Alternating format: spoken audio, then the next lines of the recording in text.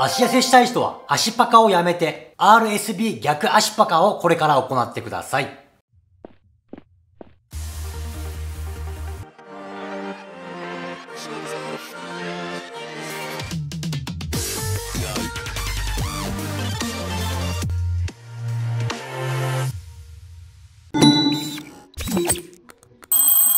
はい、皆さんこんにちは、タートルです。本日の内容なんですけども、RSB 逆足パカというエクササイズを2種目紹介します。これを一緒に10回2セット行っていきましょう。この RSB 逆足パカ。RSB というのはですね、こういったレジスタンスバンドの略になります。通常ミニバンドとも訳されるんですけども、このゴムを使うことで足痩せすることができます。通常足パカはですね、足を開いて閉じる。開く時には足の重みで下がっていきます。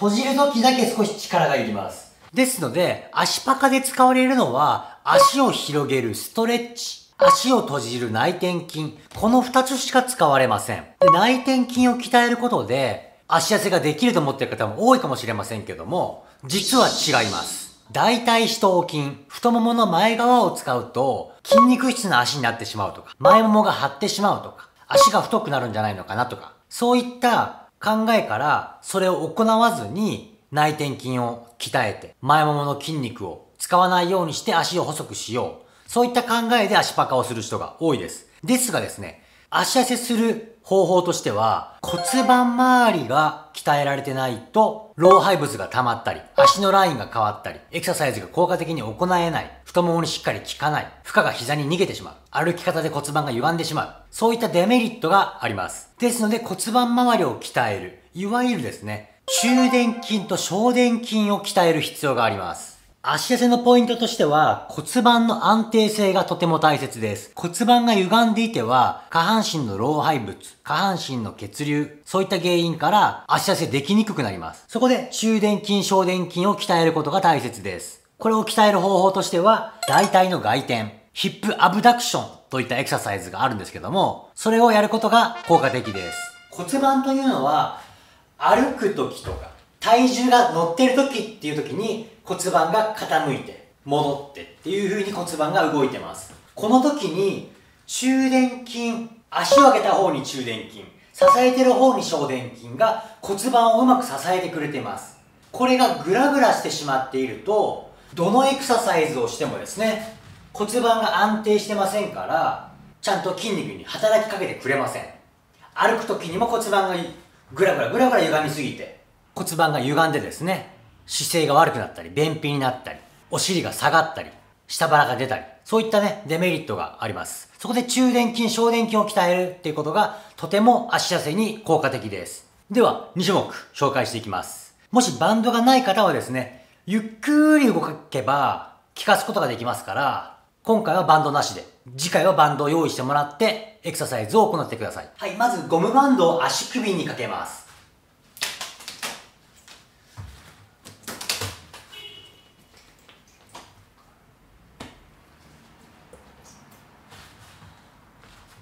そしたらですね、片方に体重を乗せて片方で足を上げていきます。横に引っ張っていきます。その時に中殿筋が鍛えられて骨盤が傾いてますから小殿筋が鍛えられます。これをゆっくり左右10回行っていきます。で、もう1種目は足パカを形を取ってしまうと中殿筋しか鍛えられませんから、足を少し上げとくっていう状態で、片方ずつ動かすことで小殿筋、中殿筋が鍛えられます。この2種目一緒に10回ずつやっていきましょう。では、いきます。左右で1回です。1体は少し倒れてもいいです。2三、四、五、六、七、聞く、八。充電器に聞いてる。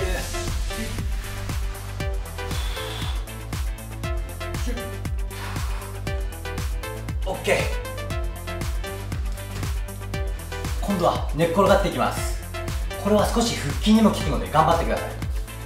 足を少し浮かして左右で1回。いきます。2